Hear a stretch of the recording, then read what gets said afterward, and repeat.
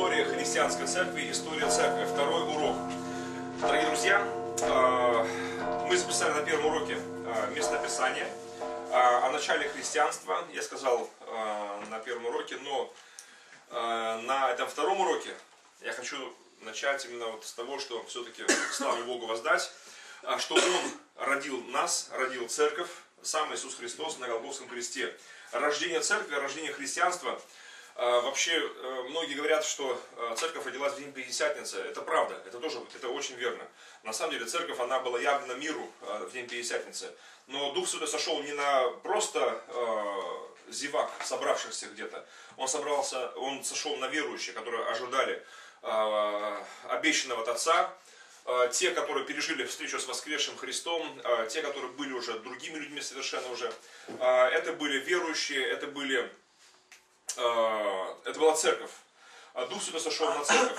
А, он не сошел на тех, кто, к сожалению, имел, видимо, какое-то обычай такое оставлять свое собрание, потому что там было человек 120 написано, хотя Иисус являлся, написано, однажды более чем 500 братьев, то есть, а сколько там было еще сестер, то есть, ну, можно сказать, тысячное собрание, допустим, да.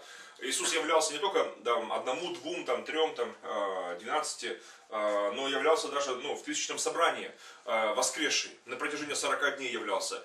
Но, к сожалению, вот те, кто дождался обещанного Отца, было не так много, человек 120 написано. Это те, которые решили отложить все свои дела, огороды, сады и прочее, недвижимость, и вообще оставить все, всякий страх, мало ли, вот сейчас арестуют всех там и прочее. А, оставив всякий страх, оставив все, а, они не просто пережили встречу с воскресшим Христом, но были ревностными в том, чтобы ожидать обещанного Отца.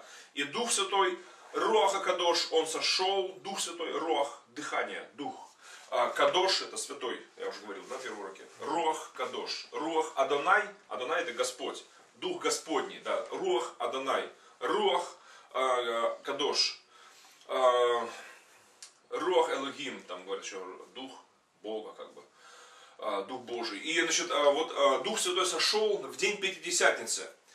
Если мы знаем, что смерть и воскресение Христа связаны с Пасхой, связаны с праздником Песах, с праздником Пасхи.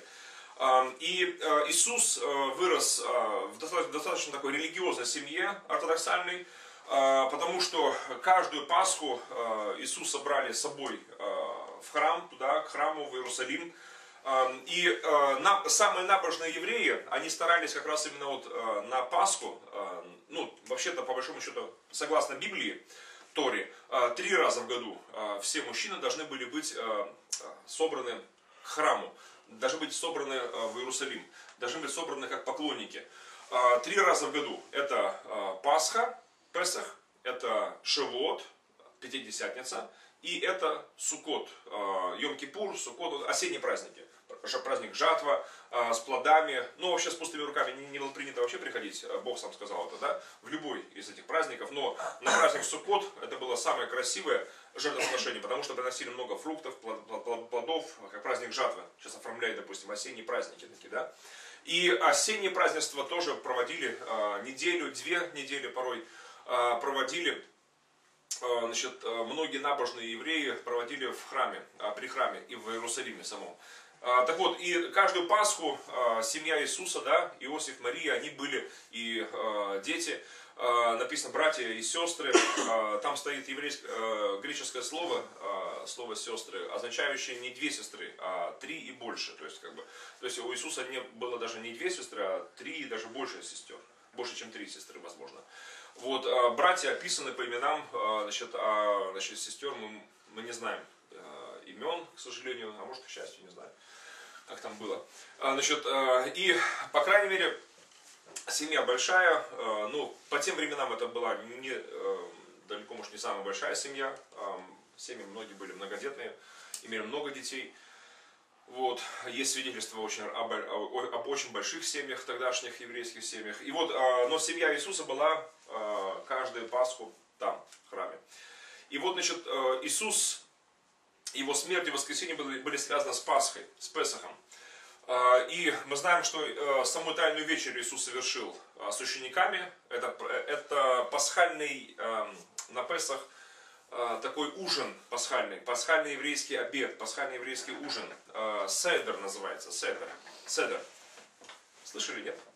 Ну, где-то фиксируйте, вы стараетесь только слушать, а еще фиксируйте это. Это вам пригодится. Я считаю, вам должно это пригодиться. Пасхальный еврейский седер, седер или седер. Пасхальный еврейский ужин.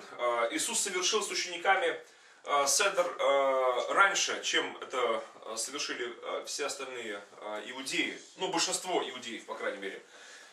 И так совершали Пасху, так праздновали Пасху значит, Есеи.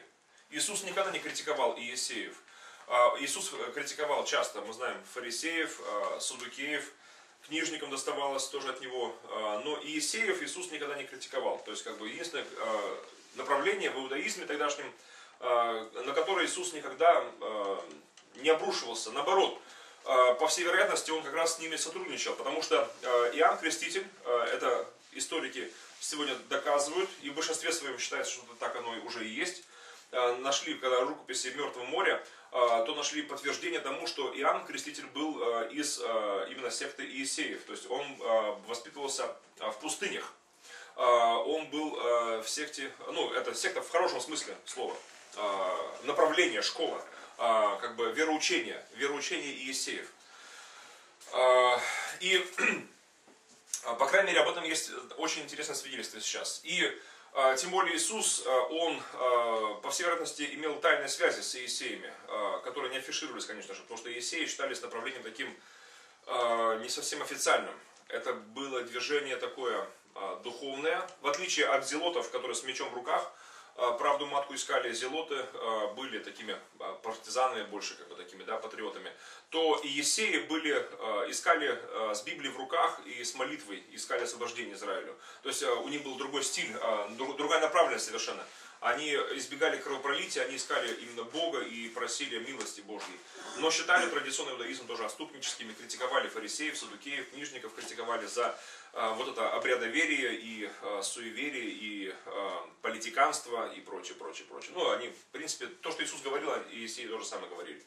Вот. Хотя Иисус не был Иисеем, потому что учеников Иисуса от Иисеев очень сильно отделялась, ну, сама практика отделяла. Но, да. А можно вот про Иисеев? Ну, вы сказали, в пустынях они воспитывались?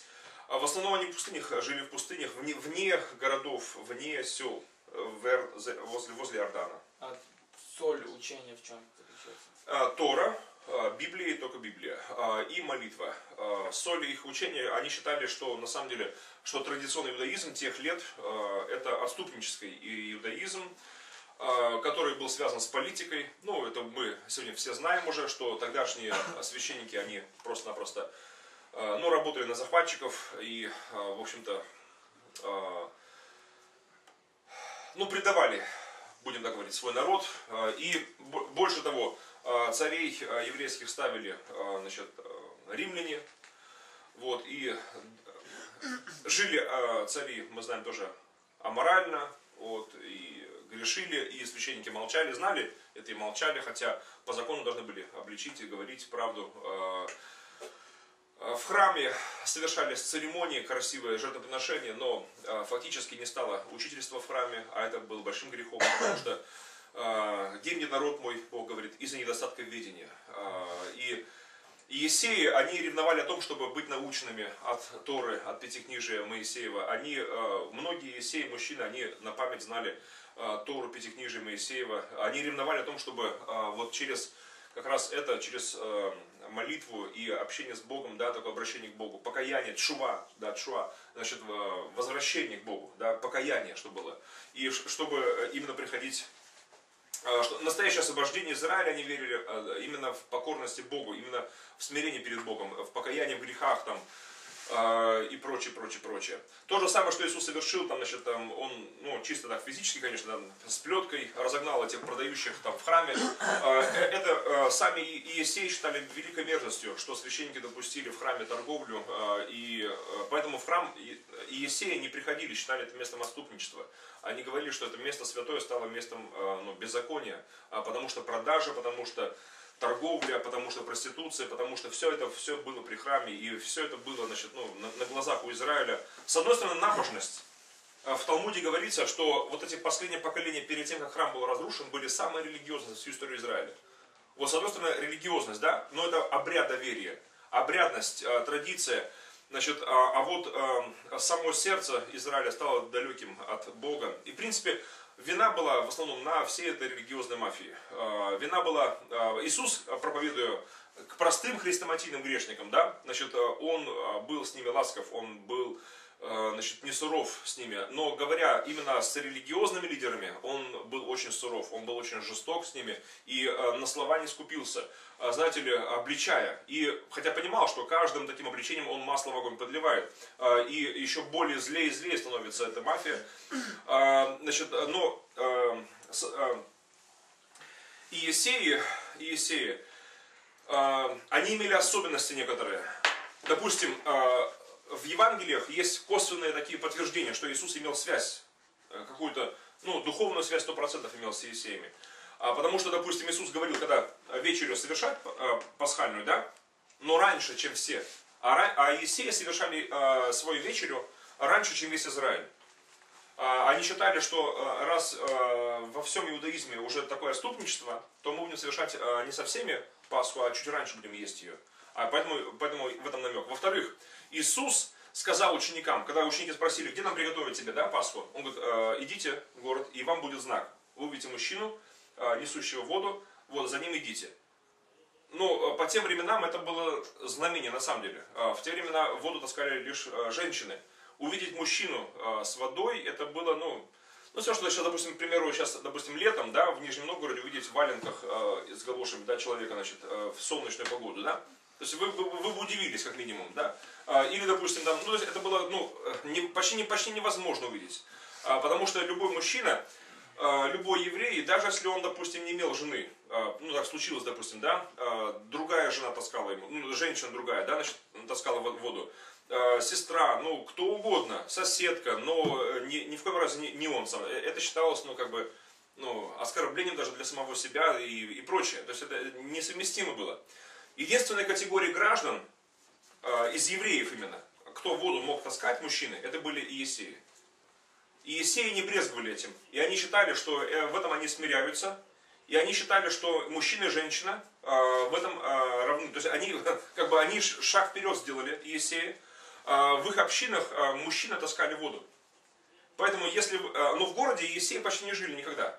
Но, но знак был такой, да, для них. Они увидели мужчину, несущую воду. Вау, не может быть. И за ним пошли и говорили, учитель говорит, «А, где нам приготовить Пасху. Вот, все уже все готово. То есть, по всей вероятности, э, это был один из э, вот, членов этой секты, то есть это школы, да, это, церкви, можно сказать, да, Иисеев, но который жил почему-то в городе, который, может быть, имел конспиративную квартиру, э, куда могли, допустим, путешествующие Иисеи просто заехать и переночевать, допустим, да. И он приготовил Пасху. Почему? Потому что Иисея, может, он даже и не ждал никого, да, но они готовят раньше. Все застилают, все готовят раньше. И хлеб, и все.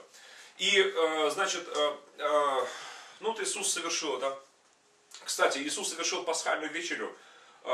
Очень необычно тоже. Вот если знать традиции евреев, то пасхальная вечеря, вот эта тайная вечеря, она вообще, ну, просто по-другому видится совершенно. На пасхальном еврейском обеде пять бокалов вина наливается тост, такой, на каждый бокал есть свой тост определенный, есть своя идея. Мы знаем, что на пасхальном обеде было ну, приготовлено животное, да, его резали, и семья должна была его съесть за этот вечер целиком, да, все. Значит, а что останется, нужно было все сжечь. Поэтому, если семья была маленькая, и не могли они целое животное сами осилить, съесть, это столько шашлыка, представляете, нажарить мясо, только значит съесть. Поэтому э, семья должна была объединиться с соседями, чтобы вместе, но они должны были все это съесть. И, но там э, на, на вечере Иисуса, э, пас, пасхальной этой, э, было как минимум 13 взрослых мужчин, голодных, которые съели это животное в течение, ну, может еще хозяин там, но о нем не написано ничего больше, мы не знаем ничего о его семье, то есть, ну, можно лишь предполагать, что эта семья могла там участвовать, но вообще-то э, сам костяк этой вечери это был Иисус и его ученики. Э, сама душа этого, как бы, э, насчет этого пасхального ужина последнего. Последнего пасхального ужина Ветхого Завета и уже первого, уже Нового Завета. Да? Интересно очень. Будьте здоровы. Так вот, и знаете ли, что произошло? Эти тосты, тосты пасхальные, можно, в принципе, это все прочесть. Э, есть литература, есть лекция об этом. Но я вкратце скажу лишь. Э, эти тосты по э, Ветхому Завету, по книге Исход, 6 глава, 6, 7, 8 стихи. Книга Исход, 6 глава, 6, 7, 8 стихи.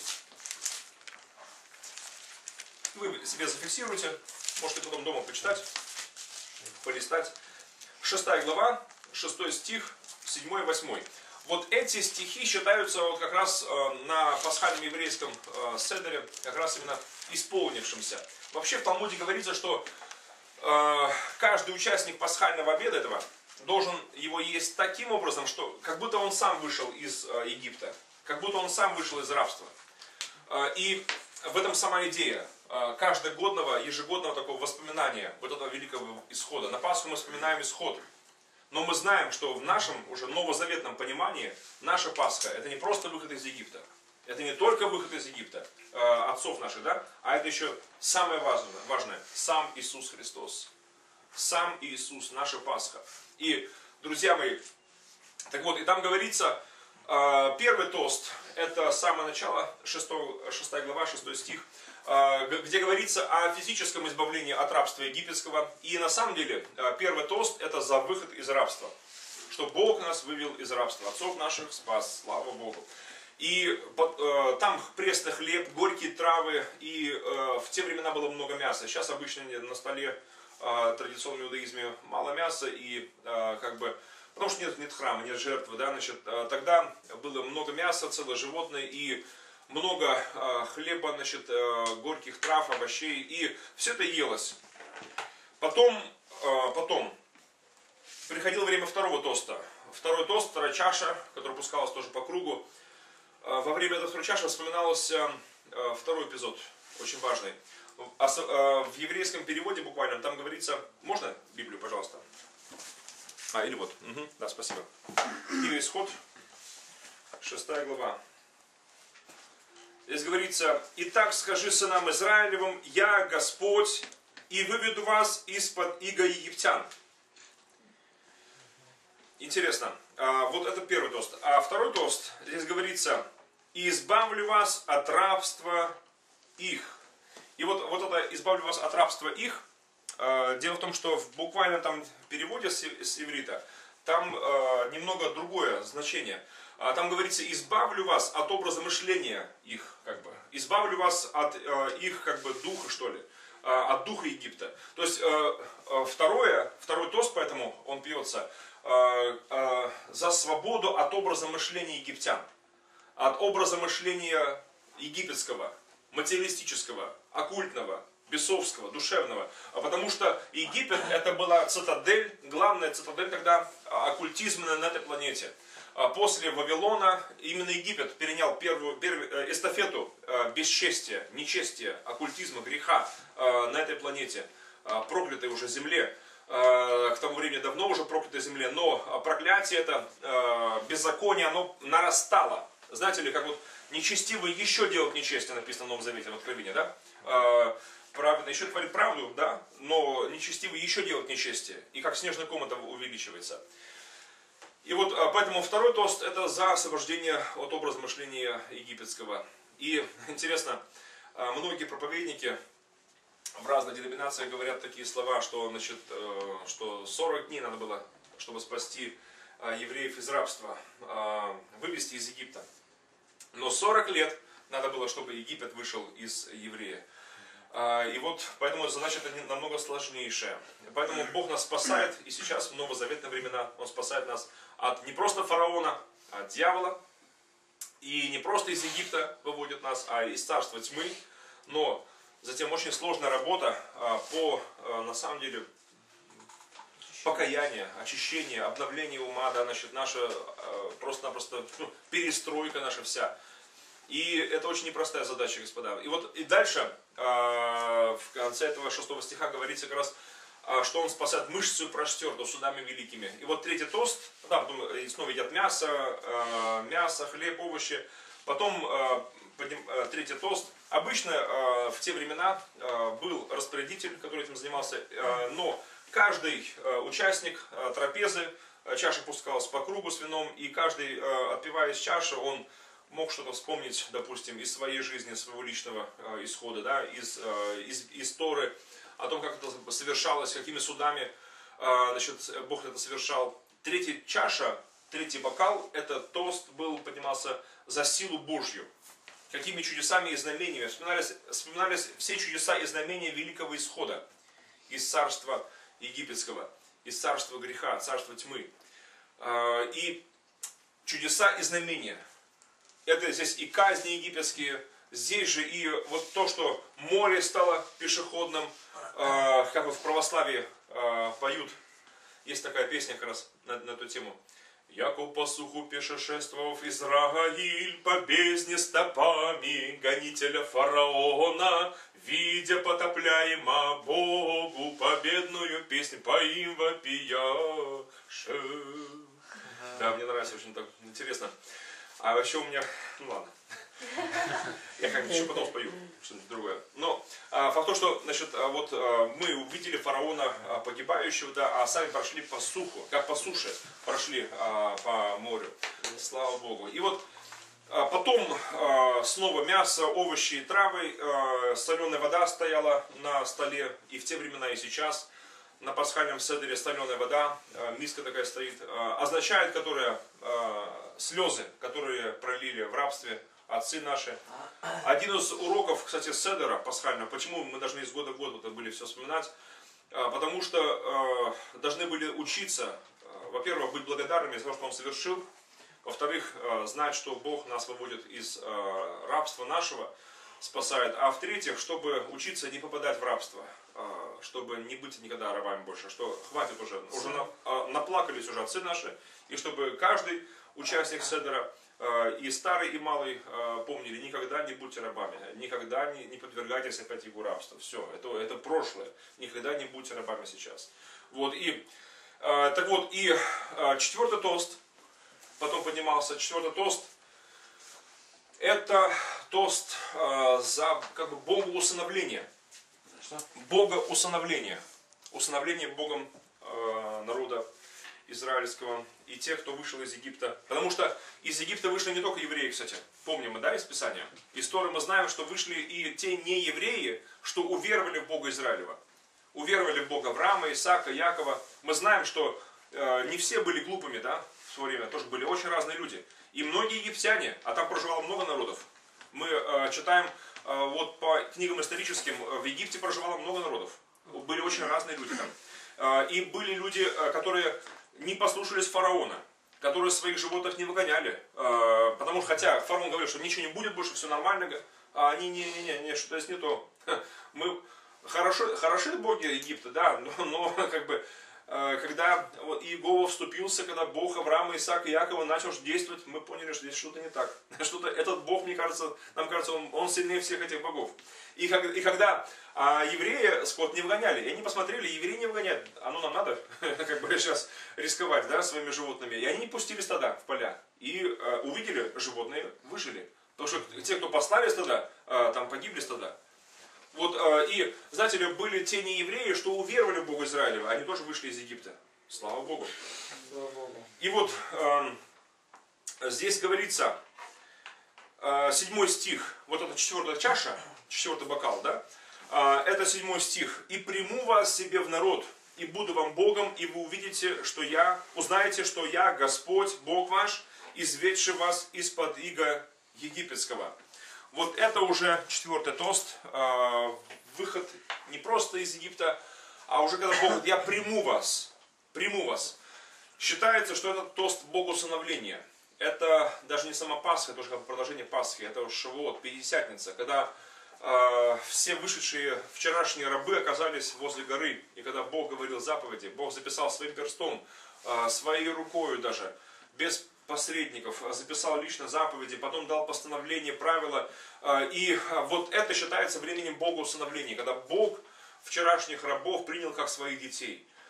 И мудрость в этом заключается, что мы, вчера быв рабами фараона, сегодня мы свободны и сами себя подчиняем, будучи рабами Бога. Мы становимся рабами Всевышнего Бога по доброй воле. И рабство Божье принципиально, принципиально отличается от рабства египетского, от рабства фараона. Потому что раб, быть рабом Бога, Бога означает быть свободным. По-настоящему, верх свободы, то есть это не просто гуляй где хочешь, Вася, да? Значит, все, вышел теперь из Египта и теперь где хочешь там и живи. Нет. А, опять стали барабами. А, греху, рано или поздно. А, но мудрость в том заключалась, чтобы выйти из одного рабства, ощутить свободу и согласиться на то, чтобы быть рабами Бога Всемогущего. И Бог обещал, конечно, Он хотел всех на гору поднять в тот день, потому что говорилось в 19 главе исхода, что в 19 главе, что все могут подняться во время протяжного трубного звука, все могут подняться на гору. А, шафар, эти небесные, ну и земные музыкальные инструменты, рок, да, допустим, да, там очень мало как бы вариаций, там нельзя же дырки сверлить, там, там, то есть как бы звук может быть у шафара, у рога этого только лишь либо э, короткий, либо протяжный, все. И небесные шафары тоже звучали. И когда э, Моисей поднялся на гору, были прорывистые, прерывистые, короткие были э, звуки. Но Бог сказал, во время протяжного трубного звука они могут все подняться на гору. Но получилось так, что народ испугался и развернулся и встал удаляться, в сторону, в сторону ушел. Испугался народ. Один Моисей был там на горе. Но в день Пятидесятницы э, народ пережил чудо, слава Богу. Так вот, друзья мои, братья сестры, а пятый бокал, пятая чаша, э, по порядочку, да, все-таки надо рассказать эту историю. А пятая чаша, она в, традиционной, э, в традиционном иудаизме, она не пьется до сих пор. И в те времена не пилась, и до сих пор она не пьется. Эта чаша называется, сегодня называется она бокалом Илии, или чаша Илии. А тогда она называлась чашей Мессии, чашей Христа. Но э, эту чашу никто не смел поднять никогда э, до Иисуса, однозначно. Эту чашу ее наливали традиционно, но никто ее не пил никогда.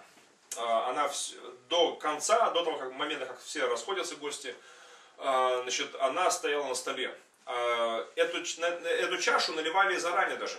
Э, считалось, что эту чашу однажды сам Мессия, сам Христос должен поднять и свое царство объявить во времена талмудического уже иудаизма, а, отступнического такого иудаизма, а, было а, сказано так, что якобы однажды Илья должен прийти, пророк, значит, и эту чашу поднять в одной из еврейских семей и царство Христа объявить. Но по-любому эта чаша считается чашей Мессии, чашей Христа. И она не пьется, да, это, эта чаша по контексту Седера, она означает именно э, вход в Ханаан уже, уже в землю обетованную. А не пьется, большинство раввинов говорит так, э, почему не пьется. Э, считают так, что не пьется из-за печали такой, траура как бы. Потому что из 600 тысяч мужчин призывного возраста, вышедших из рабства египетского, лишь два человека вошло в Ханаан, в землю обетованную. Печальная статистика. На старте, представьте, 600 тысяч человек. На финише черту перенесли только, только два. И вот э, ради печали этой, ради того, что такая страшная статистика, столько много начавших и э, закончивших только два человека. Э, вот не пьется эта чаша. И еще как бы в предупреждение считалось раньше, что вот стартовал ты хорошо, но бойся, чтобы ты вот, не сошел с дистанции, как бы, ты должен финишировать хорошо. Вот, и там однажды выпьешь э, чашу последнюю чемпиона уже там уже с Богом. Вот, а, значит, а, блажен, кто вкусит хлеба в царстве, да, а, так говорилось. Очень интересно. Это было не просто выкриком из толпы, записано в Евангелии. В те времена это было очень благочестивой такой присказкой, как бы пословицей, поговоркой благочестивой. Блажен, кто выпьет вина в царстве, или кто вкусит хлеба в царстве Бога. Это считалось очень, очень крутым таким, как бы, религиозным таким высказыванием, таким, как бы, присказкой такой, как бы. Да, это говорили и после хорошего обеда, когда хорошо пообедали, говорят, «О, блажен, кто вкусит или выпьет вина вот, в Царстве Божьем. Как бы, вот. И а, и как, как сейчас, допустим, благочестиво считается такой традицией, а, допустим, на Пасху, а, ну, вне Иерусалима, допустим, в России, в Украине, еврейская семья совершает пасхальный седр и говорят, ну, а на следующий год в Иерусалиме. такая, такая благочестивая присказка такая есть, такая поговорочка такая. Но она как бы тоже так вот освежает верующих. да, друзья мои. И так вот, Иисус он после вечери, когда уже все было съедено, выпито, ничегошеньки не оставалось, кроме вот этой чаши последней и кусочка хлеба. А почему кусочек хлеба оставался тоже нетронутым? Так было принято в, то, в те времена. А, почему? Потому что а, как в самом начале а, пасхального этого седера, когда а, ну, к, к тому, кто распорядителем является там, а, ставят а, три листа мацы, три хлеба ему подают на стол. И он а, молится, там, Баруха Тадунай Лагейна Мелех Аулам, благословение поет, а, или там, ну, поет или читает. И потом совершает следующее. Он берет средний лист мацы, второй, и надламливает его. И вот этот кусочек, интересно, а, его заворачивают в дорогую салфетку. У хозяйки считается, должна быть специально дорогая салфетка, самая красивая, самая дорогая. Ее вышивают всячески, приготовляют в течение года. И э, в эту салфетку заворачивают именно этот кусочек мацы, и его откладывают в сторону. Если есть дети, то все превращается в очень красивую игру, которая до сих пор сохранилась, эта игра. А, этот кусочек мацы, завернутый а, в дорогую салфетку, его прячут. По квартире, в доме его прячут. И дети, начинают, ну, для них уже своя есть уже игра. Они начинают искать этот кусочек мацы. Кто найдет, тому очень повезло, а, потому что у него есть право выкупа. Он должен торговаться со взрослыми, и те должны выкупать у него. И, ну, если кому повезет велосипед, кому повезет там что-то еще, там, ролики. Вот, э, в богатых семьях там и можно поторговаться и хорошо. Ну, по мере состояния родителей считается самый хороший сын тот, кто очень хорошо торгуется. В, этом, в, этот день считается, можно торговаться ну, до бесконечности, пока ты не, не, не скажешь, все, я больше не могу, вот, как, вот точно, вот сто процентов, вот только так могу тебе подарить. Да. Поэтому, да, наверное, евреев считают такие. Ну, ну, еврей должен уметь деньги считать обязательно. Бог же считает деньги. Все, как бы. Вот, это так у неверующих все. На глазок. Вот, значит, а, и а, если Бог дает а, богатство, мы должны правильно распоряжаться этим, потому что дадим отчет. В этом-то иудаизм, наверное, отличался всегда вот, от тех вот других религий, которые окружали иудаизм. А, потому что в обычно в языческих религиях деньги считались сами по себе уже злым, чем-то таким плохим там. Вот, и крайний аскетизм обычно пропагандировался. В иудаизме никогда деньги не, считалось, не считали злом, абсолютно, наоборот, считалось это добром. Э, с той лишь разницей, что э, мы должны именно э, правильно распоряжаться ими, вот, и дадим отчет Богу. Если у тебя много денег, ты должен очень много отчета в том, что значит, как ты ими распоряжался. А, если у тебя их мало, то у тебя меньше, тебя меньше спроса, но ты должен тоже на своем уровне ответить будешь, как ты распоряжался тем, что тебе Бог дал. Значит, поэтому иудаизм очень сильно ну, уважает деньги, очень сильно. Потому что и как бы в других религиях это не ярко выражено. В христианство, к сожалению, оно вот, я считаю, очень к большому сожалению, ну, где-то в течение ну, средних веков это однозначно, оторвавшись от еврейских корней, оно перестало уважать деньги. Э, э, в крайний аскетизм кинулось. Э, это, ну, получилось, понимаете ли, ведь не в самих деньгах зло, да, сребролюбие, в любви к деньгам, в этом есть зло. И поэтому идеалом, допустим, в средние века, когда вот эти вот доктрины развивались, было нищенство, идеалом считалось сумасшествие, значит, нет мозгов, нет денег, и ты святой. Понимаете, но это ненормально. На самом деле и мозги, и деньги это все от Бога, но мы должны правильно всем этим распоряжаться, и мозгами, и деньгами. Как Бен Гурион говорил, да? Некоторые там в Кнессете говорили, что, а, что надо же, Бог водил нас 40 а, лет по пустыням и привел нас туда, где нет нефти вообще. Надо же, вот везде нефти полно, но у нас вот именно нет нефти. А Бен Гурион говорил так им, а, тот, кто декларацию ну, как бы, независимость Израиля объявлял в 48 году. 14 мая, торжественно так вот. А бен сказал так, что из всех ресурсов, какие возможны на нашей планете, а, в Израиле есть лишь наши еврейские мозги. Но это поистине безграничный ресурс. И он дал на установку такую на как раз именно подобную э, экономику, которая строится на мозгах, а не на нефти. И это хорошо. Нефть закончится, рано или поздно газ закончится. Что, все может закончиться. А мозги не закончатся, если будешь правильно распоряжаться тем, что у тебя есть сейчас. Вот. Да, это не только на, на примере Израиля видно. А вот есть народы, допустим, та же самая Япония, да, там всего-то ничего, да, и ресурсов-то очень мало. Но если есть мозги, ты можешь а, на этом малом ты можешь ну, очень неплохо ну, как бы, развиться можешь. На, на, на всем угодно можно развиться, да. А если так вот пофигист, если там как бы жуй кокосы, ешь бананы, как бы и, и не думаешь ни о чем, то ну ладно, господа, давайте продолжим. Вот это как бы я получился на втором уроке рассказал больше вам о пяти чашах и как бы вот именно о, э, э, значит, о пасхальном седере. Но это в этом есть какой-то урок определенный для нас сегодня. Я считаю, что э, вот в этой теме э, истории христианства есть много таких маленьких тем, которые могут очень многого научить нас сегодня. И у нас есть время еще? Да, 15 минут. А, замечательно. Так вот, и э, возвращаясь в тему истории церкви, истории христианства. Помните, на первом уроке я говорил вам, что мы не знаем точного года рождения Христа, и поэтому э, начало э, церкви, да, начало э, истории христианства мы примерно обозначаем примерно 30-м годом нашей эры. Но мы знаем точно, когда период это закончился, э, история церкви. Это было в 313 году. 313 год нашей эры,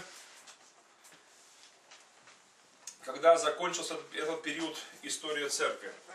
А, почему именно а, в 313? Потому что именно в 313 году а, был опубликован закон новый, так называемый Миланский эдикт императора Константина.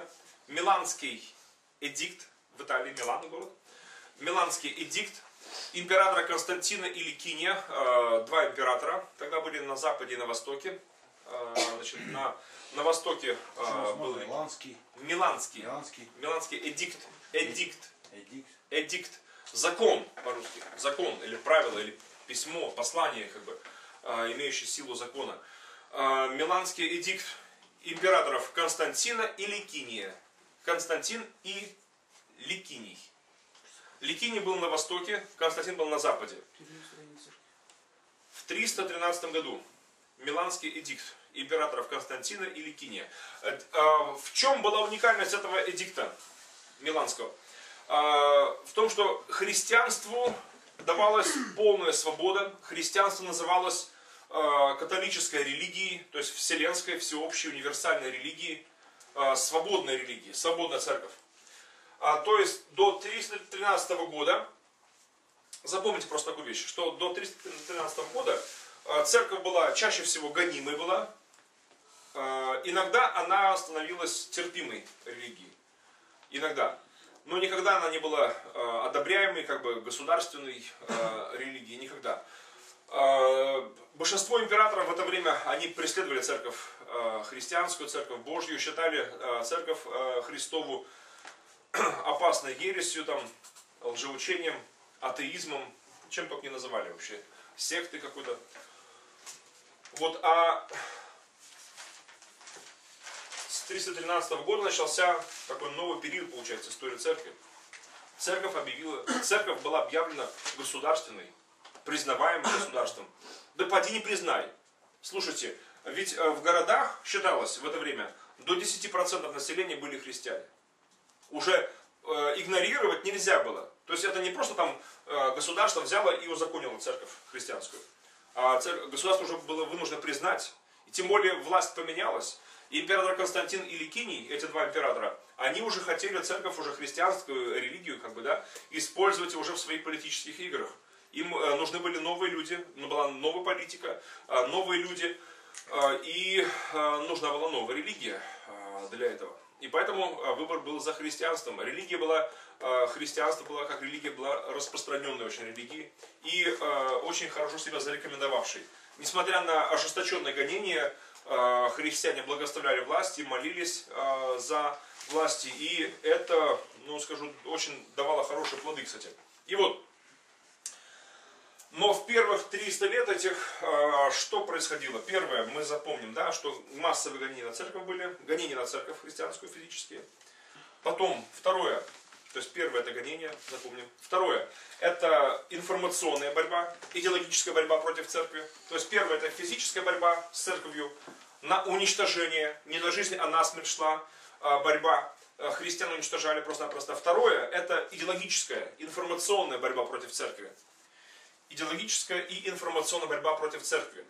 А, э, Ее вели философы Рима, потому что понимали, и в те времена понимали политики многие, императоры, правители, богатые, серьезные люди понимали, что христианство распространяется, и его просто мечом не остановить. Нужно было переубедить, надо было убедить людей, что это неправильная вера, и надо ее оставить.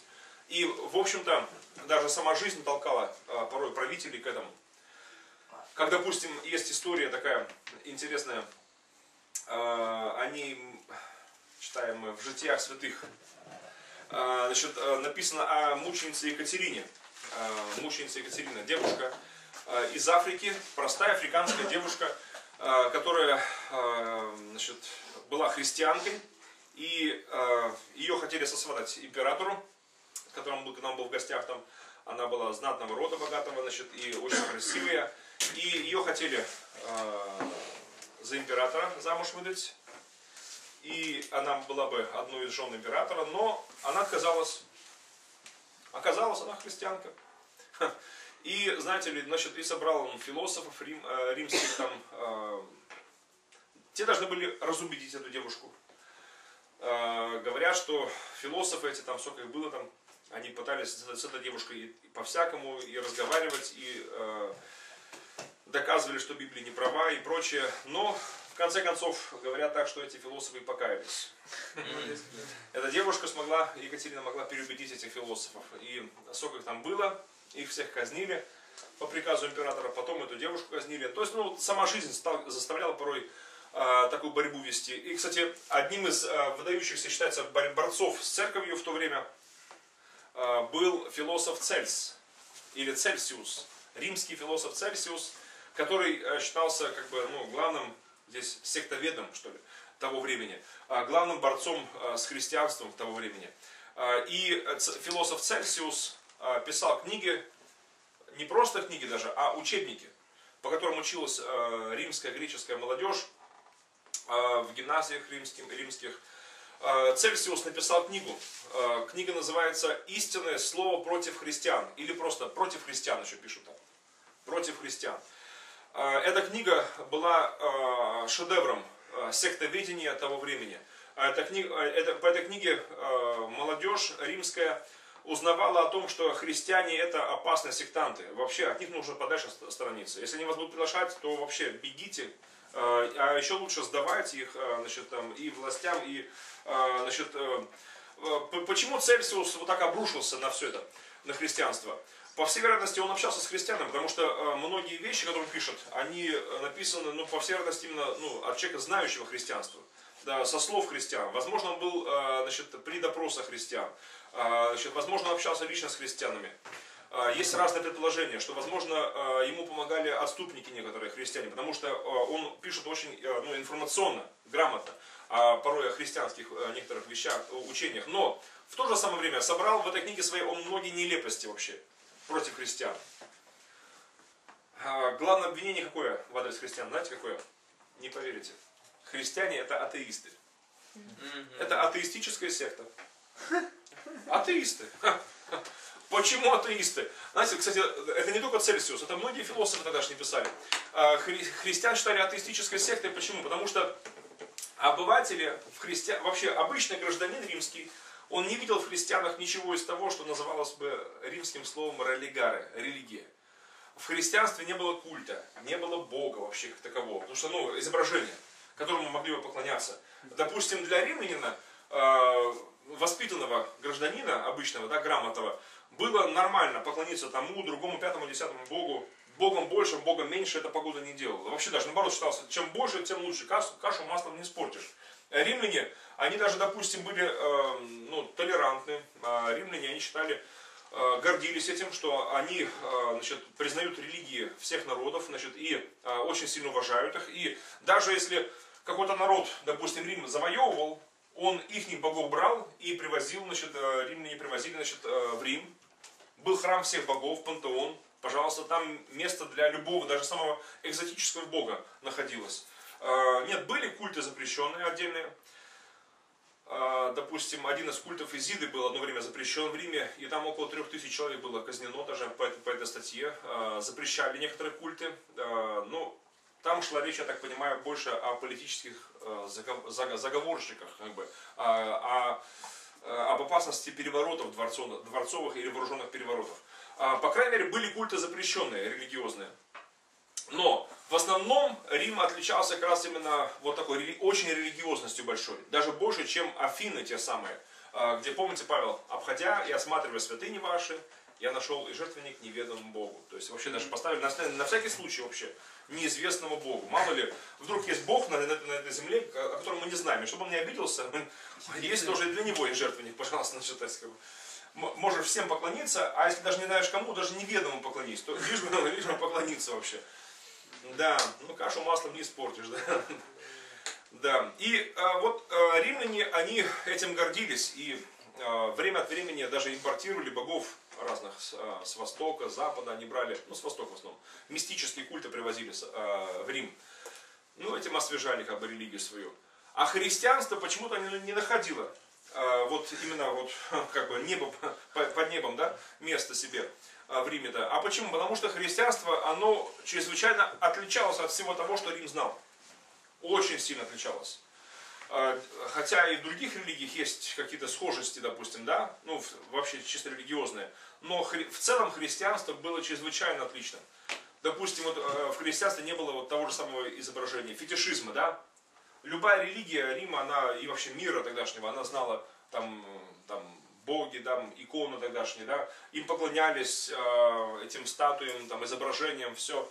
Хотя, конечно, э, ну, грамотные религиозные там, вожди, там, философы, поэты писали, конечно, как, допустим, Апулей написал а, в книге «Метаморфозы» или «Золотой осел» в своей книге, он написал, что а, он высмеял вот тех простодушных сельских там, или невежественных этих богомольцев, которые самой стат, самим статуям этой Изиды поклоняются, обожествляя камень, дерево. Он пишет, что это невежды. А, что это как бы это, ну, недостойные люди, а, но а, граждане свободные, граждане разумные, просвещенные, как бы он пишет, что должны поклоняться не камню, не дереву, а самой богине этой.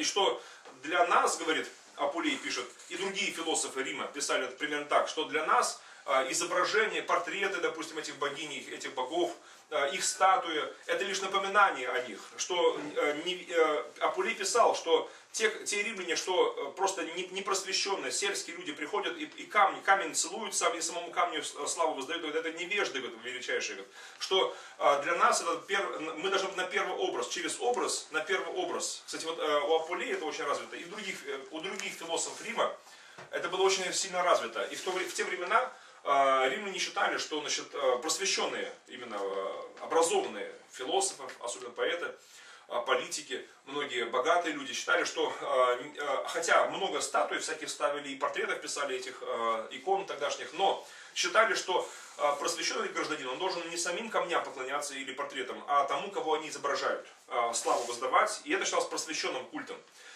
И Рим поэтому строился на, так, на, таких, культах. Метроизм, допустим, да, тот же самый метроизм, значит, культ Бога Солнца, там не говоря уже там про старые культы Зевса, допустим, да, Юпитера. А, то есть вот эти культы строились на поклонении а, через образ, но на первый образ. Но без образов, без а, икон, да, без статуй ни одна религия не существовала в Риме. Христиане изначально говорили, что никакого изображения у нас нет. Вот, кстати, в это время был такой один э, инцидент интересный такой, ну, очень интересный. Наверное, даже зеленым пишу его в 222 году. Легко запомнить, кстати, поэтому. Три двойки к ряду. А, в 222 году а, в Риме произошли перемены интересные. к власти пришел новый правитель Александр Север, который был сочувствующий христианам. Как бы. То есть были императоры, которые, допустим, гнали церковь Божью, да, были императоры, которые были близки к христианству и сочувствовали христианам, и даже давали свободу христианам порой. Вот Александр Север был одним из таких, что давал свободу христианам. Некоторые историки даже называют его тайным верующим. И, по крайней мере, его маму называют тайной христианкой, или же христианкой пишут порой.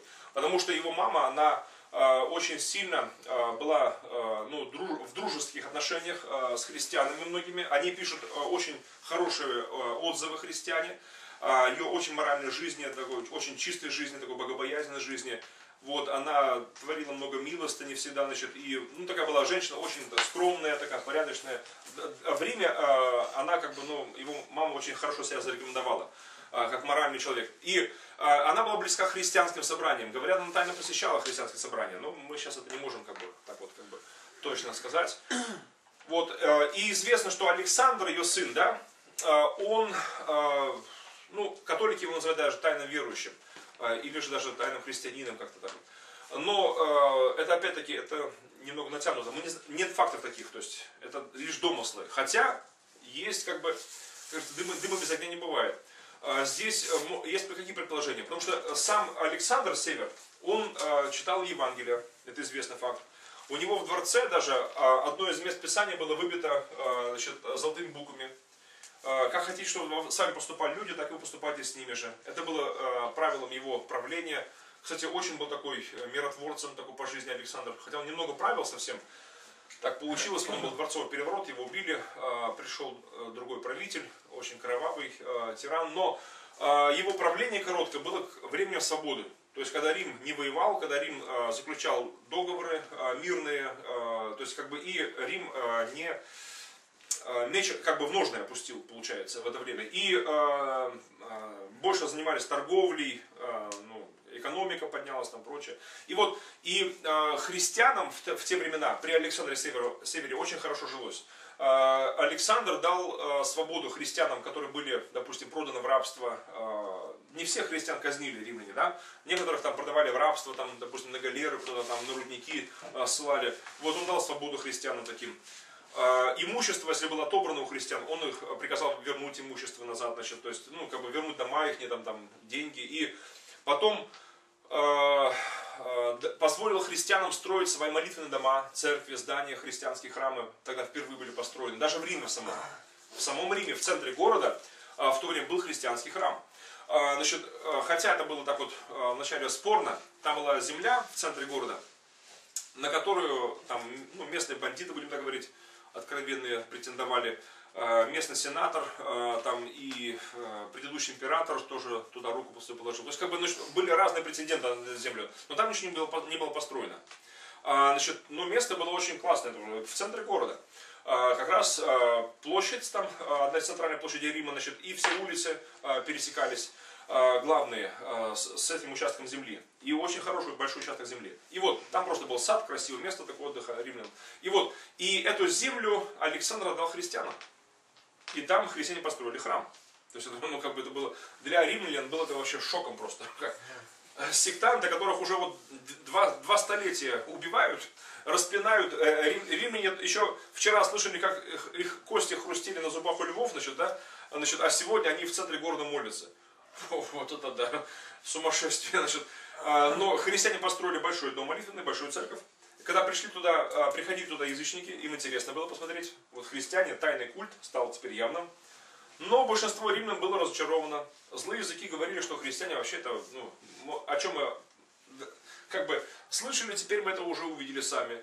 А, многие римляне были разочарованы этим культом, значит, потому что обыватели увидели пустые стены, пустой храм, ничего. Лишь э, письмена, тексты из Писания были украшены, э, значит, э, стены храма этого, и все. Больше ничего они там не увидели.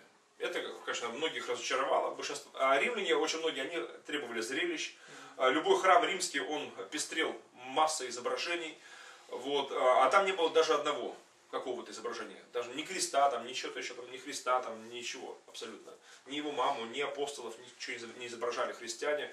Вот, э, и э, единственное, что еще э, позволялось, порой христиане еще делали натюрморты, допустим, пейзажи, но в храме это, насколько я знал, это не было отмечено. То есть даже не было ни натюрмортов, ни пейзажей. И потом, потом пришло, пришел другой правитель, который у христиан все это забрал, и как бы там были уже капища. То есть опять все по-старому начались гонения. Потом было опять время свободы для христиан, некоторое время, опять, а потом опять массовые гонения. То есть как бы, ну, так было до самого 313 года. И вот э, в 313 все стало меняться. Так, мы отметили, что в этот период времени первое было э, массовое гонение на церковь, да? Потом э, идеологическая информационная борьба против церкви мы отметили также была. Я рассказал пример вам, э, это философ Цельсиус римский, против христиан писавший, обвинявший христиан во, вся, во всяких нелепицах. Там.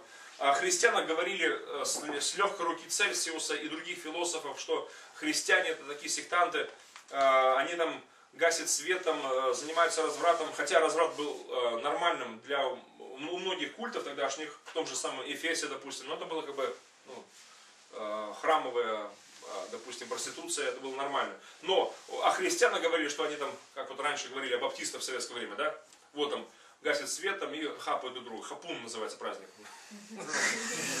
Говорили такое. Я помню там. А еще говорят, в жертву приносят э, детей там, значит, а я когда познакомился с баптистами, там, с писятниками, вот, я думаю, надо же, какие там жертвы? У них там по 10 детей, по 15 детей. Когда они еще успевают в жертву принести еще.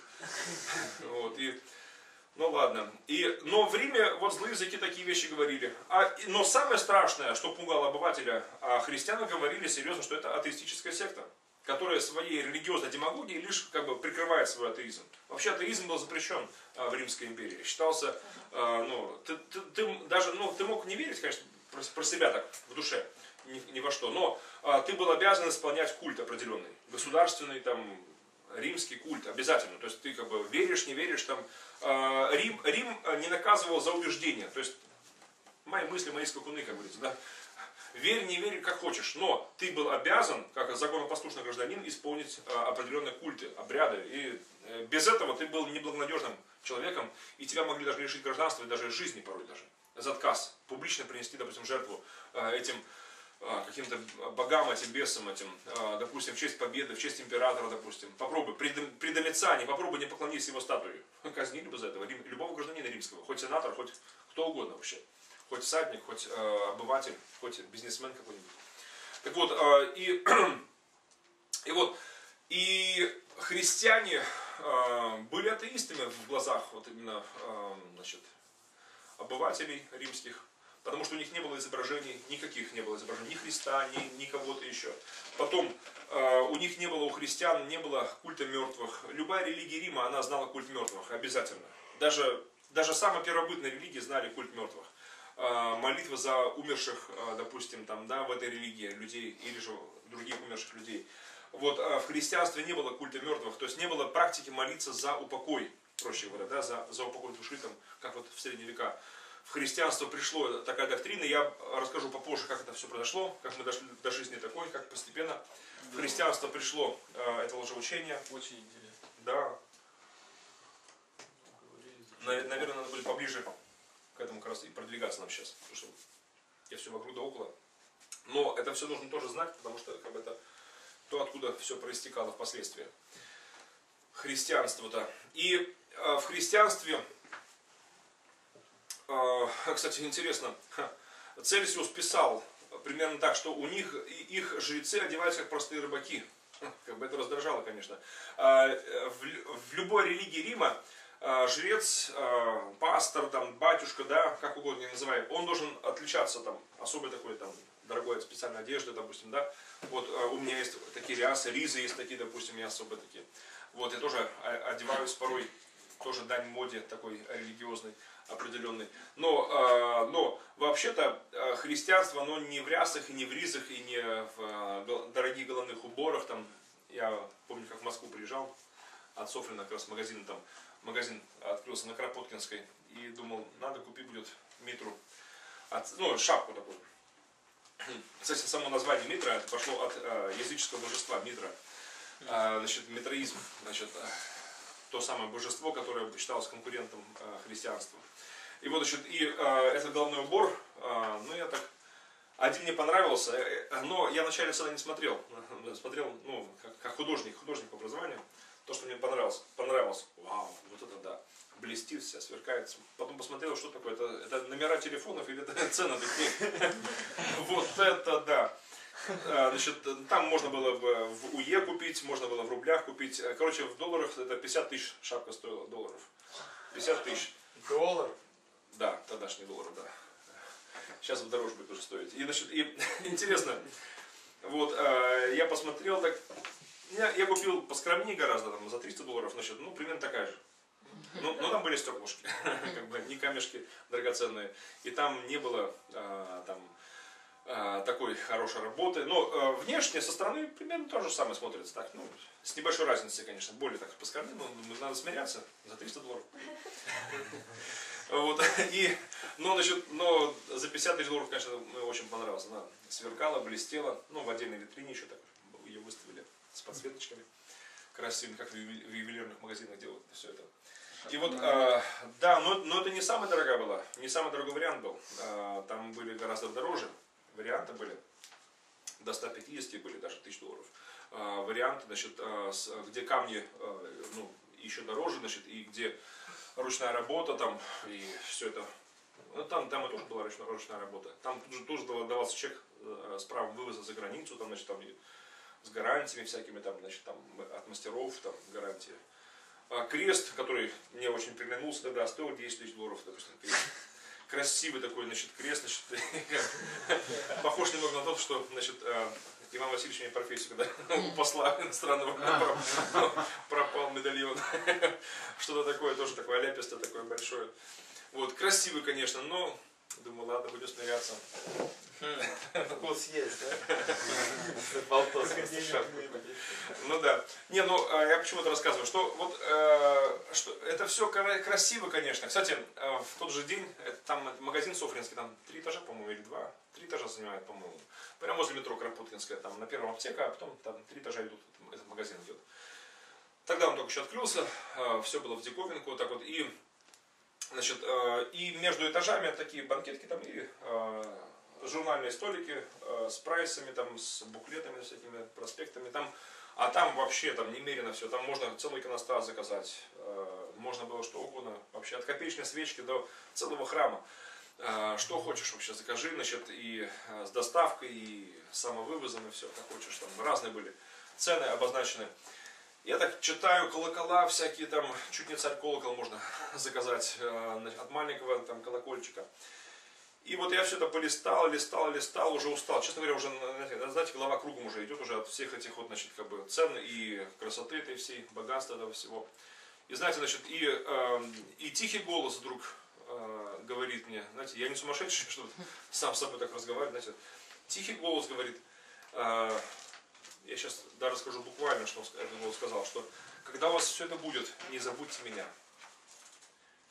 И знаете, у меня так, скажу так, вообще настроение упало. Я думаю, надо, оно мне надо все это. и, а с другой стороны, я подумал, знаете, как э, уже сам додумывал, потом сидел э, и уже домой ехал. Знаете, думаю, что надо же, как э, вернулся к себе в Киев, в церковь. Думал, надо же как можно легко за всей этой религиозной мишурой, бижутерией, да, как можно потерять самое главное. Вроде бы из благих намерений, как бы, да, благих побуждений, все, все это люди делают, отливают, пишут, э, мастерят. Вроде бы это во славу Божью и показать, как один из этих идеологов такого благочестия, такого э, внешнего, э, Иосиф Володский писал, что это как бы э, отблеск небесной красоты будущей, там что-то такое. Ну, он считал, что даже если люди там в лаптях и без лаптей, босота одна, голодранцы, значит, но храм должен быть иметь золотой купол и золотую чашу, значит, ну это как бы что, это, это святость. И понимаете ли, и, ну, Э, конечно, это, я понимаю, это сегодня это не новозаветное представление совершенно о Церкви Божьей, но э, как легко за всей этой религиозной э, мишурой этой всей, да, потерять из виду самое основное, самое главное, самого главного Господа Иисуса Христа. И я в церкви это рассказал, когда у себя уже поделился, там говорю, братья и сестры говорят, да, вы точно, не нужно нам ничего лучше, но главное, чтобы с Богом. Да, а когда все это будет, говорю, Бог же предупреждал, значит, значит это будет, значит, э, но не забудьте меня. Да, друзья, не забудьте Иисуса Христа.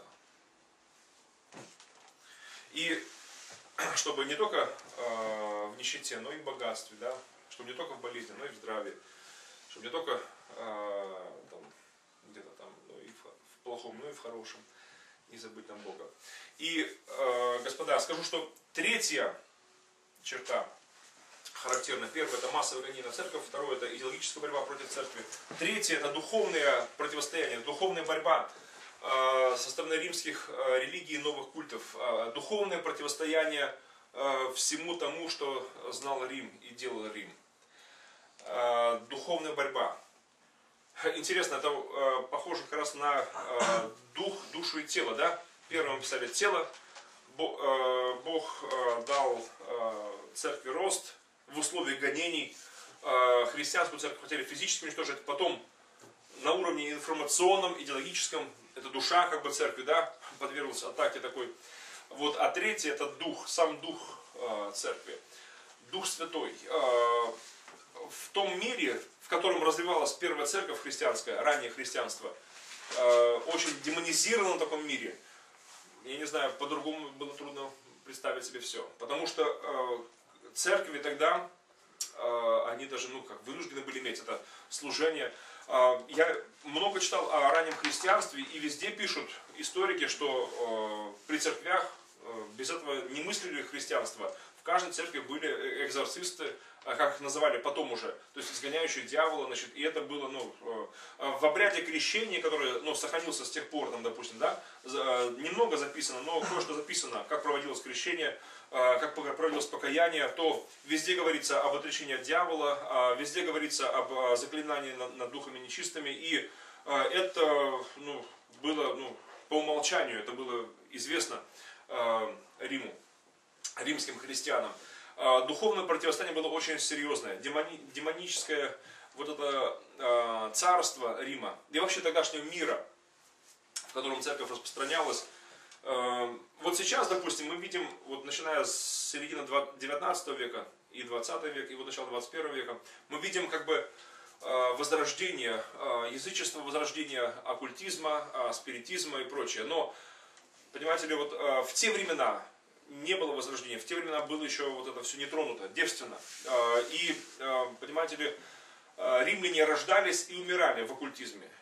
И это было то, что колдовство, оккультизм считалось нормальным, само собой разумеющимся вообще в том тогдашнем мире. Это страшно, конечно, но так было. И вот сегодня во время такого второго рождения, второго дыхания оккультизма в этом мире – христианству а, рассчитывать приходится только лишь тоже, как и первым христианам, на Духа Святого, а, на помазание Духа Святого, на реальную силу Божью. Так просто идеологически не переубедишь и мало что сделаешь вообще.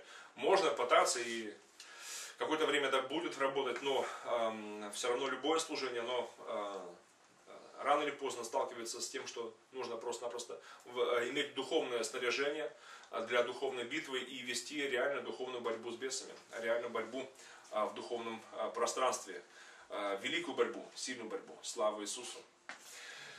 Да, друзья мои, и вот одно из таких, ну, запишем некоторые оккультные такие учения, которые тогда противостояли христианству, и очень серьезно противостояли, и в чем-то, к сожалению, побеждали и, потому что христианство последующих столетий, а, к сожалению, очень э, ну, пострадало от этих учений а, ложных. Это митроизм и восточные культы. Митроизм, а, вот в православии даже в названии головного убора священнослужителей во время богослужений с камнями, красивый такой переливающийся головной убор такой, да, видели все. Даже в названии сохранилась митра. Э, митрополиты, э, само название митрополит, сегодня это, ну как на Западе кардинал, допустим, старший епископ э, большого округа, допустим. А в те времена, во времена первой церкви, митрополитами называли верховных жрецов бога Митры, главных его служителей, которые имели большую округу и большой там, регион, большой, целую страну, допустим, управляли. Митрополиты. Значит, и, в общем-то, когда э, мы не, мы не знаем год рождения Христа, но когда э, церковь становилась государственной религией, идеологией государственной, то нужны были праздники. И вот я упоминал уже праздник Рождества. Да? Сегодня мы празднуем когда? 25 декабря э, по старому стилю, это значит по-новому 7 января. То есть 7 января, 25 декабря. На самом деле Иисус родился, ну, 100% можно утверждать это сегодня, и не тогда, и не тогда. То есть не зимой однозначно родился он, Потому что перепись населения, э, сегодня мы это знаем однозначно, э, из исторических сведений, э, перепись римляне проводили не зимой, и не осенью, и не весной, а только лишь летом. Рим проводил перепись исключительно летом. Во-вторых, значит, по еврейским законам даже это было запрещено в другое время проводить, потому что только лишь летом могли переписывать. И Рим не только в Иудее, но и в других стран, других провинциях проводил именно летнее время перепись. Тем более написано, что когда Иисус родился, э, стада были в полях, и пастухи ночевали вместе э, со стадами. В Израиле в те времена это было исключительно летом. Начиная с праздника Шавуот, Пятидесятница, когда стада все выгонялись в поля и жили в полях, э, были сезонные рабочие, нанимались как пастухи. Они жили с этими стадами все это время. Начиная с праздника Шавуот до Рошхашана, до еврейского Нового года. А это обычно середина сентября, или же э, значит, конец сентября в редких случаях э, в нашем э, солнечном исчислении. То есть получается, вот Иисус родился, вероятнее всего, это июнь, вторая половина июня, или весь июль, август и первая половина сентября. Астрономы, христианские астрономы, допустим, Американского института сотворения Вселенной и э, с других очень э, уважаемых э, значит, институтов. Сегодня христианские астрономы доказывают, в том числе лауреаты больших очень премий и заслуженные ученые, не только в христианском мире, но и в научном мире, доказывают, что, скорее всего, Иисус родился в начале сентября. Значит, предположительно, это были первые числа сентября, 9, 10, 11 до 15, например, сентября Иисус мог родиться, потому что по всем астрономическим наблюдениям, исчислениям, вот в четвертом году нашей эры, в пятом году нашей эры а, прикинули, когда могли быть вот такие знамения, а, как именно появление звезды, значит, и это однозначно было начало сентября, первое число сентября, не раньше, значит, но и тем более не позже, когда сада, сада загонялись в эти вертепы. То, что Иосифу с Марией предложили, тем более Мария была уже вот-вот родит, да, предложили э, в хлеву, как бы, да, предложили в вертепе э, ночевать, это не было садизмом, это не было издевательством ни в коем разе. Вот, понимаете ли, дело в том, что э, по традиции тогдашней еврейской э, не должно пустовать просто так э, э, пространство. Если, допустим, стада выгонялись, э, делался ремонт в это время же, сразу же, только стада выгонялись в поля, э, стада не загонялись все это время, э, там делался ремонт, полностью, а, вычищалось, выскребалось все. А, там было уже приспособлено для жизни место.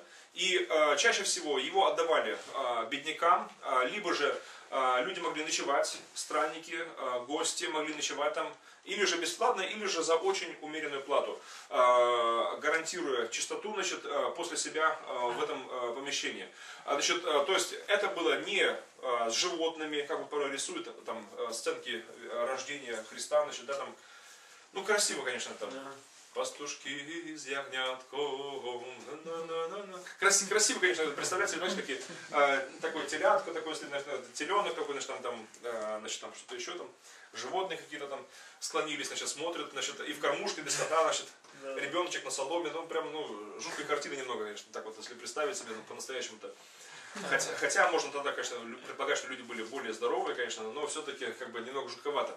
Э, ребенок в такой э, ситуации. Хотя на самом деле э, в жизни еврейской женщины, рожающей, тем более если первый раз рожающей, да, значит, э, условия хорошие создавались, даже если были, была бедная семья совершенно. То есть другие еврейские семьи, более богатые, обязаны были позаботиться тогда, значит, по крайней мере, о первых родах 100%. Вот, значит, и э, не могли дать ей вот такое ужасное место с животными значит, значит, э, в кормушке для скота. Вот э, то, что ребенка спеленала, положила, э, это, место, это места были не э, для уже скота, это все время, все это место и сама кормушка уже было, все для людей уже было рассчитано уже, э, пере, переоборудовано уже, по крайней мере. Вот, э, и, ну, а, да тем более сама перепись Кесаря Августа, да, о которой говорится, что Иисус в это время родился, она была за три, даже за четыре года до э, официальной даты рождения Иисуса Христа. То есть однозначно Иисус родился раньше. Э, царь Ирод умер там, в каком году? Там, третьем каком году? До нашей эры умер. То есть получается, э, что согласно Евангелию Иисус родился гораздо раньше, чем это принято сейчас считать. Но это, это я сейчас делаю такие замечания. Почему? Более подробно. Почему? Потому что вам было понятнее как далеко а, мы зашли вообще, а, христиане. Да. А можно вопрос? Я просто что-то я не, не понял. А, да. Вот сейчас 2011 год. Распяли Христа 2011 лет назад. А 33 года он как бы до креста был. Дело в том, что Иисус родился, вот скоро будет отмечаться 2012 лет от Рождества Христова. Вот, но на самом деле года на 4 раньше. То есть будет э, на самом деле не 2012 год, а 2000 будет какой? 16 год. Или даже 17 возможно. А, То есть... 17. 18. Понятно. Да. И э, я почему это говорю? Что э, я начал это с метроизма. Метроизм и другие, Бог Солнца, допустим, то же самое. Э, божества восточные, э, метроизм в частности, имели дни рождения своих богов. Это были празднества всеобщие. Это было 25 декабря. По старому стилю, по-новому это 7 января. То есть 7 января э, праздновалось Рождество Бога Митры. Э, значит, и люди друг друга поздравляли и говорили, Митра родился, там, э, или там Бог родился, говорили. И друг друга поздравляли, дарили подарки. И это считалось э, ну, языческим э, празднеством. И христиане, конечно, э, ну, не участвовали в таких этих оккультных этих празднествах. Вот, э, и э, не, не верили в то, что Христос родился в это время. И, но никому из христиан в голову не приходило праздновать Рождество э, Иисуса Христа по плоти. Оно нам надо, как бы, знать Христа по плоти. Нет, конечно, зачем? Вот, это только лишь, ну, как бы, это больше удел невозрожденного христианства, будем так говорить, невозрожденных людей, интересоваться Иисусом Христом, какой у него был там размер ноги, у него там, там как цвет глаз, там волосы, там что он любил есть. Хотя мне очень нравятся его как бы, а, вкусовые эти а, предпочтения, когда он там приготовлял, помним, да, он любил жарить рыбу и мед. Рыба с медом я очень люблю, говядину с медом, рыбу с медом очень люблю. Вот. Поэтому я думаю, мы с Иисусом найдем общие за столом, общее блюдо. Вот. Но, значит, ну, когда, помните, да, из Евангелия. Вот, и скажу, что, значит, что на самом деле, на самом деле, как бы, Э, вот эти культы языческие очень сильно повлияли на христианство последующее. Но почему это произошло, смешание с язычеством христианства? Потому что христианская церковь, э, ну, в лице своих служителей, пастырей, лидеров, и э, в основной своей массе, к сожалению, пошло путем очень страшным путем обольщения в последующее столетие подчинения Э, государству, когда кесарю, не только кесареву, но и Божье уже воздавалось уже. И э, смешание с язычеством это было политическим заказом э, того времени, который, к сожалению, осуществился. И вот нам сегодня, христианам 21 столетия, приходится разгребать такие горы мусора. Сегодня так сложно приходится. Вот согласитесь, э, те, кто вообще занимается миссионерством э, в любых странах мира, это все это подчеркивают.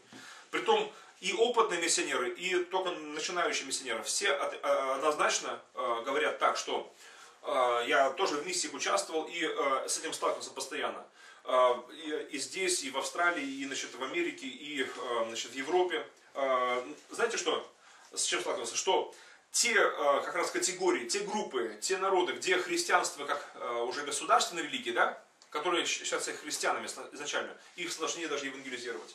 чем те, которые, допустим, откровенно там мусульмане, откровенно иудеи, допустим, да, не признающие христианство, откровенно, допустим, там буддисты, атеисты даже, их проще порой обращать к Иисусу, потому что им, когда таким людям приходится принимать решение избрать Христа, им как бы полностью отрекаться, отказываться надо от того, что они знали раньше, и принимать Иисуса как Спасителя Господа своего. Но э, вот человек, который э, считает себя с детства уже верующим, как бы, значит, и вроде христианином, как бы с самого рождения по маме, по папе своей, да, э, ДВРовец, допустим, значит, да, значит, или же родился в христианской стране, или крещен в детстве был. Таким сложнее, почему еще? Потому что как бы у них, у многих из них прививка против, как бы такая духовная прививка против возрождения свыше есть. А, они даже если порой и переживают а, покаяние, то в легкой форме, как правило. И очень сложно глубоко покаяться, очень сложно, а, очень интересно такое наблюдение. Один из вот, очень уважаемых мною людей, мой, мой товарищ Саша Шевченко, пастор Дом Хлеба, церковь в Сакраменто, он, я каждый раз, когда в Калифорнии бываю, я у него бываю в гостях, и первый раз он мне показывал такую страшную иллюстрацию, такую страшную картину. В Сакраменто есть большое русское кладбище славянское кладбище, большое. И там в основном молодежь, в основном ДВРовцы, дети верующих родителей, и в основном э, причина смерти одна и та же. Это наркотики и все, что связано с наркотой. Э, поножовщина, убийство, застрелили кого-то, кого-то пострелили, кого-то э, значит, бросили, кто-то сам себя убил. И все это, у кого-то передозировка чаще всего. И огромнейшее кладбище. И дети баптисты, писятников в основном и говорит, на всем кладбище, если могил 5-10, вы найдете тех, кто а, значит, а, ну, умер естественной смертью, или ну, болезнь, допустим, какая-то, да, или от старости, это единицы буквально. А все остальное, огромное, тысячи тысяч людей, это все а, грех. А почему? И а, Саша Шевченко, он, он реформатор. Он очень большой реформатор на самом деле. В своем братстве а, писательском он большой реформатор. И он сказал так, что с самого начала мне, что он увидел главное зло в чем? В нашей неправильной теологии. И вот, вот это вот э, иллюстрация нашей, плод нашей неправильной теологии. Потому что большинство, 99,9 всех выехавших тогда, выехавших э, баптистов, писятников, они имели неправильную теологию, неправильную идеологию внутри. А какую неправильную? Они считали, и многие до сих пор еще считают, даже не, нау, не научились многие старшие братья э, вот, вот таким страшным уроком, не вынесли уроки из этих как бы вот происшествий, потеряв даже своих детей и внуков, многие так и не покаялись до сих пор в этой теологии. А, в чем это неправильная теология? В том, что раз наши дети, они выросли в церкви, раз наши дети, они свято написано, да, мы молимся, не благословляем их, раз они уже в церкви выросли, они несут служение, значит, они уже возрожденные люди. Раз они вышли на, на покаяние, произнесли молитву, они уже по умолчанию уже сразу возрожденные свыше люди. Вот. А это привело к тому, что а, значит, э, церковь пополнялась и уже э, не одно поколение даже именно невозрожденными людьми, не пережившими э, покаяние, не пережившими возрождение, спасение, реальное, реальное возрождение свыше.